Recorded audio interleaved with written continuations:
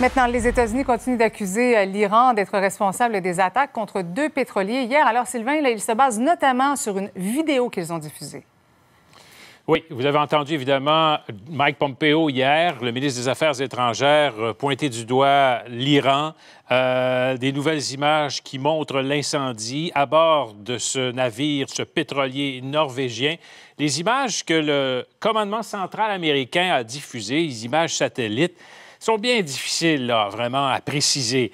On dit qu'il y a une vedette des gardiens de la révolution iranienne qui viennent s'accoster sur le bateau japonais, l'autre, le méthanier, pour y enlever une mine qui n'aurait pas explosé.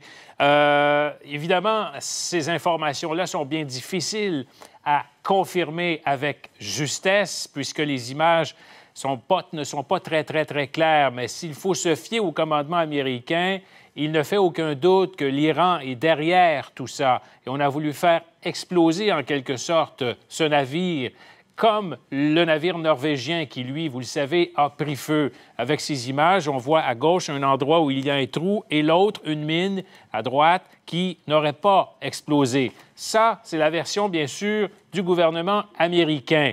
Euh, il y a cependant, évidemment, alors que vous voyez au moment où on tentait d'éteindre cet incendie, là, on est en pleine mer, évidemment. Il y a beaucoup de navires autour. Les flottes, les passagers à bord, là, le manque d'équipage, ont été hein, évidemment euh, sauvés. Euh, je vais vous faire rapidement là, la description qui ne va pas dans le sens de Washington, des Japonais, de, si vous voulez, l'organisation des transporteurs qui émet des doutes.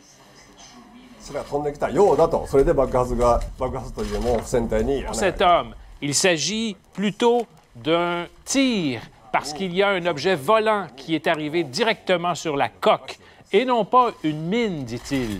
Alors bien sûr, c'est de la confusion qui règne actuellement dans cette affaire.